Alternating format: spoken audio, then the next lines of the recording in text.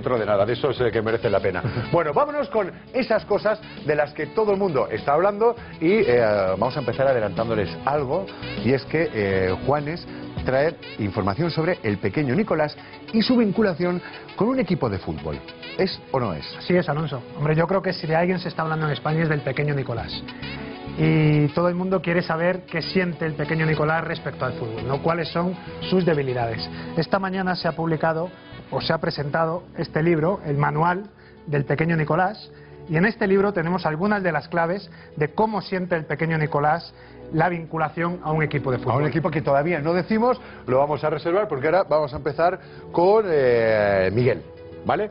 Muy bien. FIFA Pro. Eh, el otro día ya empezamos teniendo problemas con los porteros, que había apoyo, y también lo vamos a tener con la Con los defensa. defensas. Este paso vamos a tener pollo con todo el mundo, hasta con los árbitros. Luego También, ¿no? claro que sí. Sí, pues hay, hay una indignación muy evidente con el tema del FIFPro, ¿no? Yo creo que, que están en el Madrid no- nominados gente como Sergio Ramos, Carvajal, eh, Marcelo, Pepe Barán, pues entra dentro de lo normal. Pero que dentro de, por ejemplo, el Barça esté Alves o Piqué con la temporada que han hecho es lamentable. O sea, es un premio para darles en la cabeza rápidamente. Y le traslado un poco la pregunta a Juanes, ¿qué le parece que, que solamente esté Godín? Molestamos en España y molestamos en Europa, Sí, también porque parece. Si hay una defensa buena, es la defensa del Atlético de Madrid. Hombre, a mí lo que me indigna especialmente, sabiendo cómo funcionan los organismos en estos premios, es que no es Taker Casillas, ¿no?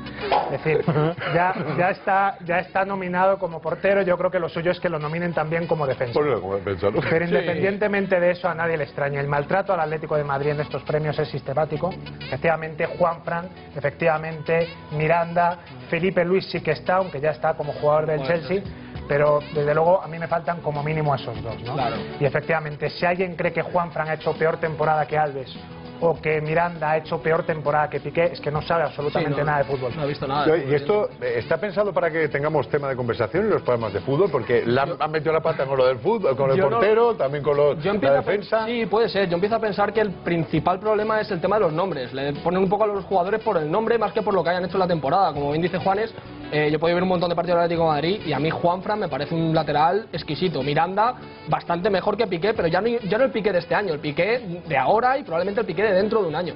Me parece indignante lo que, lo que está ocurriendo con el FIF Pro y como sigan así, pues no van a dar muchos temas de debate. Más Fuster. Felipe Luis está y a lo mejor si estuviera en el Atlético de Madrid no Puede, lo podría nominado. no estar. Quizá lo han nominado porque se ha ido al Chelsea. Sí, sí, sí.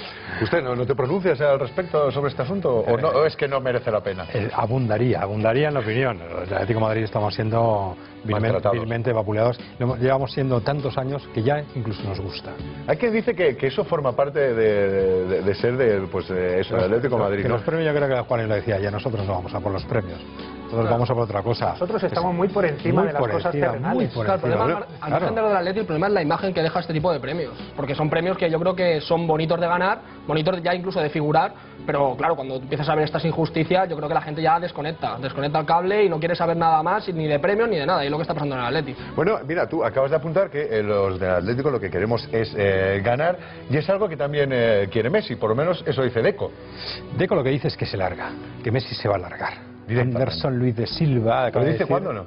Este año, esta temporada, el año siguiente, dentro de cinco años, que, que Messi se larga de Barcelona, que Messi se larga, exacto.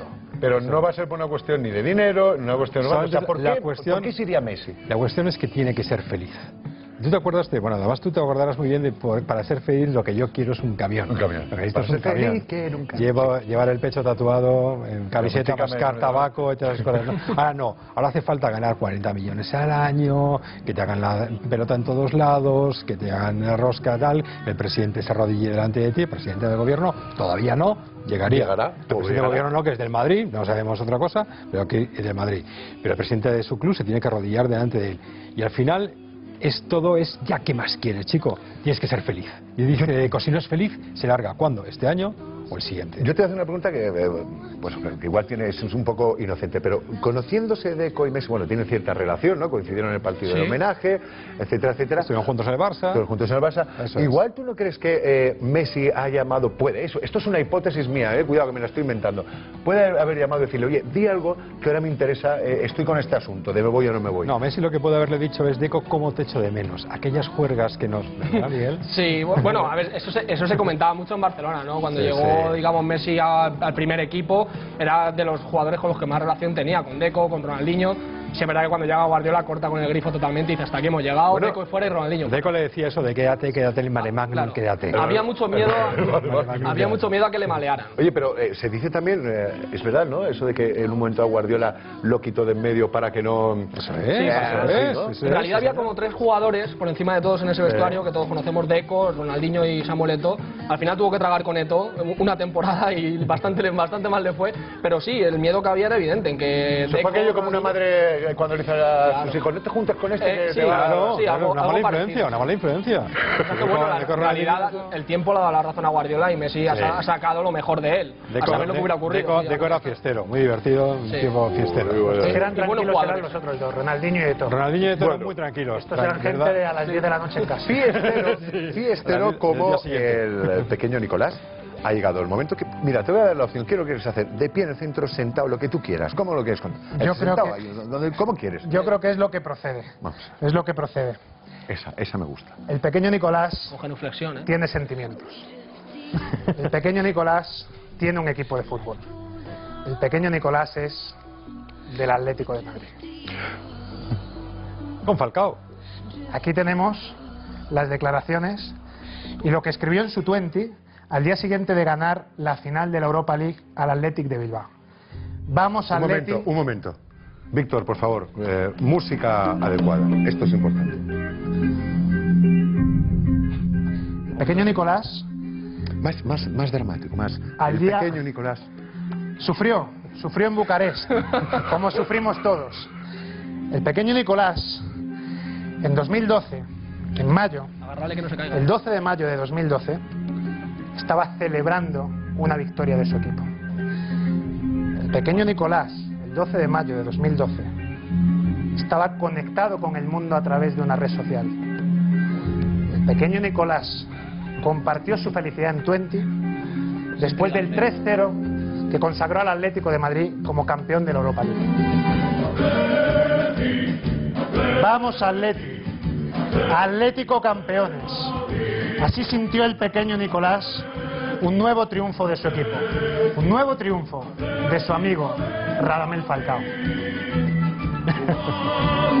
Muchas gracias, Juanes. Gran momento. Aquí tenemos al pequeño Nicolás.